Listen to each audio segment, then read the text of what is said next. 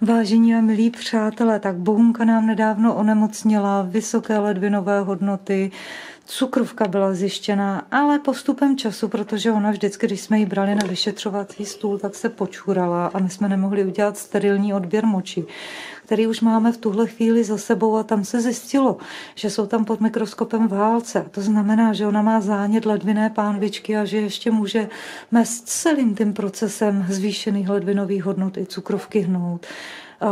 U člověka, když má cukrovku člověk, tak je to trvalá záležitost. U kočičky ale může ustoupit, byť by byla tím dlouhodobým eh, cukrem vlastně zjištěno, že ta cukrovka tam je.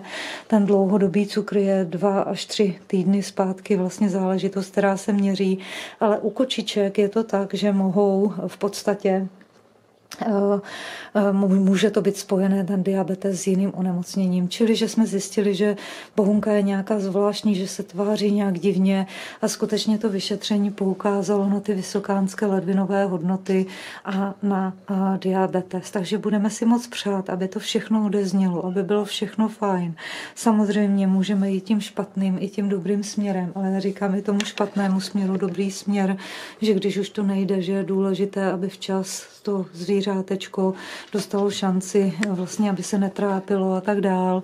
Určitě mi rozumíte, co mám na mysli a, a tak dále, aby jsme zvířátečko netrápili, ale aby se vždycky zjistilo, co tam skutečně je v tom tělíčku. My máme i těžší takový ten u bohunky, protože ona je plašánek, řešit ten diabetes. Sice se nám daří, podáváme inzulín, ale nemůžeme už ji oddělovat jídlo a nemůžeme dělat takové ty velké diabetické diagramy, ale máme to, myslím si, hezky vychytaný, domluvený s paní doktorkou. Stejně tak jsme nekapali infuze v boxíku, jenom tu úplně první, a vlastně dostávala pod kožíše kočička na zavodnění, aby jsme ji nestresovali boxíkem, kde ona pláče a nechce být, ale aby mohla být tady ve své kočičí skupině.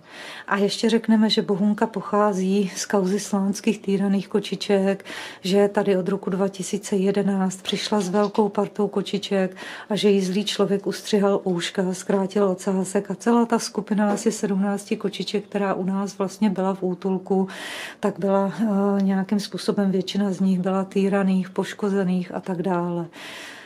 Takže, přáteličkové drazí, Bohunka se s vámi loučí, vedle ní je Kačenka, vy se mějte krásně, děkujeme, nashledanou, ozveme se zase.